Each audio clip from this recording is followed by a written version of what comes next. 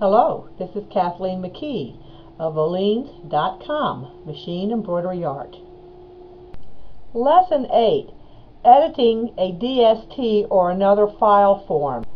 One of the main things people use their embroidery software is to edit designs that they have purchased from somebody else. In this case, we're going to import a DST design that's been created for a commercial embroidery machine. Uh, I could go to my import patterns from the home menu file, but I've already put it on my quick access, and that's where I do all my work is for my quick access. And we're going to import it from a file. I'm going to pull this DST. You can see that uh, I, most of mine are on PES, but this one's a DST, and I'm going to import it. The problem with DST designs is that they always have the same color sequence. It doesn't matter what color is really going to be sewn out. Uh, it's going to show on the screen as Prussian blue being the first color, blue is the second, a teal green, third, cornflower blue, red, and they go on and on, and they're always in the same order.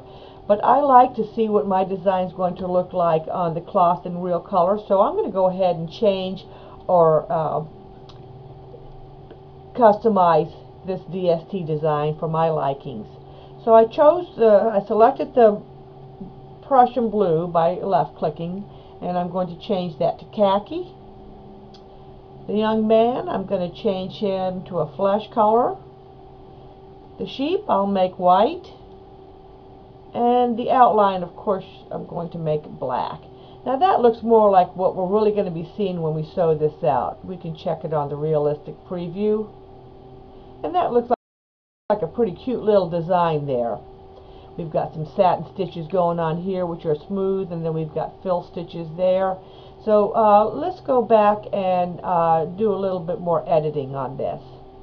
I decided I want to make this uh, say, peace on earth as opposed to just plain peace.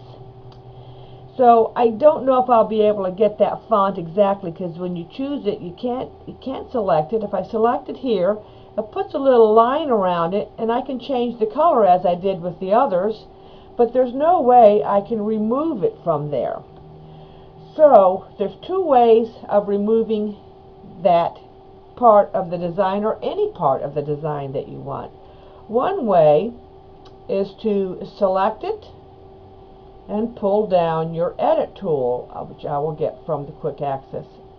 And you notice all it turned dark. So what's happening here? Let's zoom it and see what's happening here. Ah, it's showing you where every, let me get my select tool it's showing you where every single stitch is going to be. Uh, each stitch, every stitch.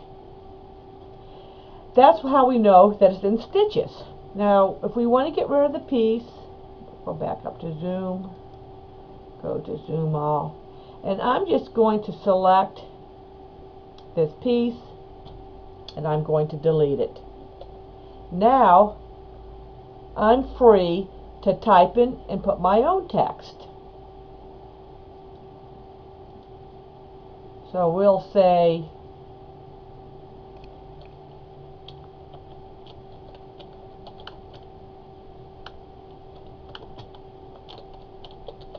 Okay, so I finished that. Now right click to make it turn to stitches.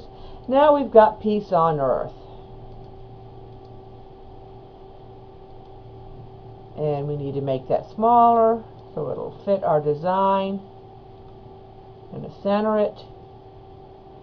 And now we have changed the piece to peace on earth